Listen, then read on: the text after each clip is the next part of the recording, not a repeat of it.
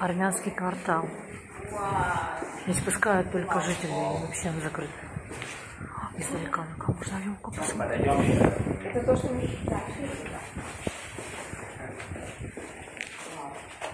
Очень красиво. Какая красивая. Впервые. Никогда еще елки не было в армянском. Не было никогда? Вообще елки начали ставить протестанты, как протест против католиков. Католики ставили вертепы, ставили вертепы. Вертепы начали ставить французы.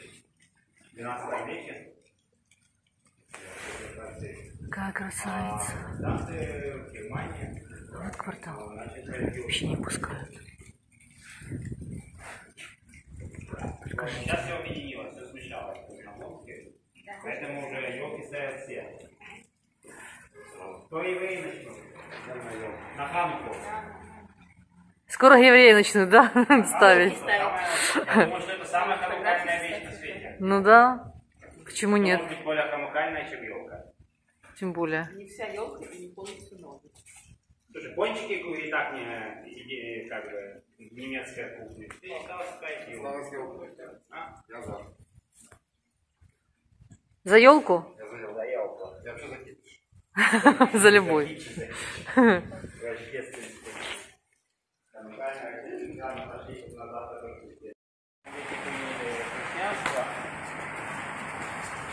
И они одни из первых э, откололись от римской, А, ну, от Византии. Э, формально поводом было то, что они не признали, э, что у Бога, ну, Иисуса есть две сущности, человеческая и божественная. Они как и считают себя, ну, и мы их считаем, так сказать, монотеистами. Они не любят это определение, но а как они считают? они очень похожи на православную церковь, они уже этим не заморачиваются. Но в тот момент раскола было четыре там главных церкви, которые откололись. Эфиопская, сирийская, коптская и армянская. Они откололись от, э, э, от- ну, когда Ватикана не было, скажем, от э, Византийской церкви, от Римской империи. Ради, ну, нужен был повод. Вот, а православный раскол был только в XI веке. Схизма.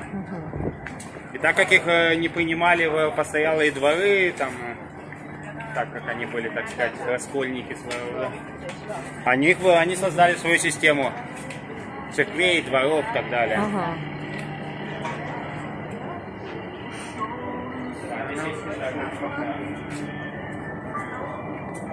Вот, и в какой-то момент повезло, сказать.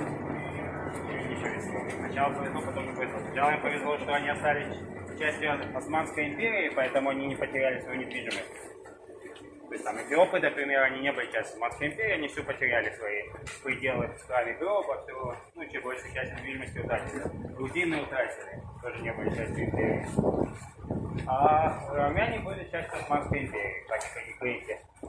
И они как бы поэтому у них больше относительно много недвижимости сохранилось. Но э, во времена катастрофы они за все поплатились армянского Холокоста. Вот. И потом э, турки убивали в основном э, в центральной Турции.